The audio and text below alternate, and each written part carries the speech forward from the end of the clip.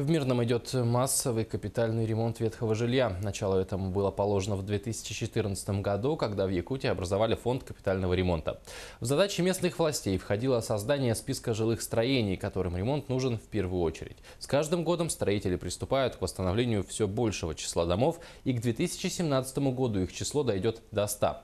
Как выполняются работы и с какими трудностями сталкиваются подрядчики, выяснял Роман Муконин. С 2014 года масштабные ремонты охватывают 22 дома, и это только начало. Если кровля, то это идет полная замена кровли, восстановление вентиляционных каналов, там, ремонт стяжки там, и все это.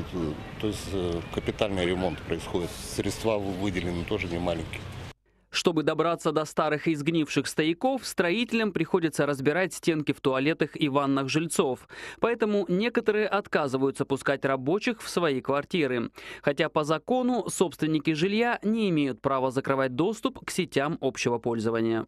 Так, в 2016 году работы начались и еще на 17 домах, а на два последующих года фонд капитального ремонта выделяет Мирному 360 миллионов, поэтому обновленных домов в городе станет гораздо больше. А, достаточно изменится а, облик города, и мы надеемся, что также меньше будет жалоб уже от собственников, что касается подачи водоснабжения, теплоснабжения и, остальных, и работы остальных инженерных систем.